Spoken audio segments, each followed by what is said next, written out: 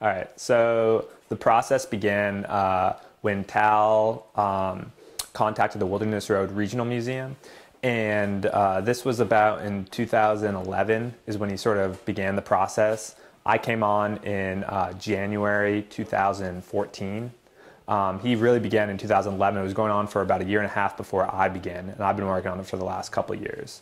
Um, and what happened was Tal wanted to basically preserve all the documents that the Wilderness Road Regional Museum had uh, and create a much better archive so that future researchers can um, uh, access the information and the history um, and the regional history of Pulaski County. So he formed this crucial collaboration between Emory and Henry College and the Wilderness Road Regional Museum.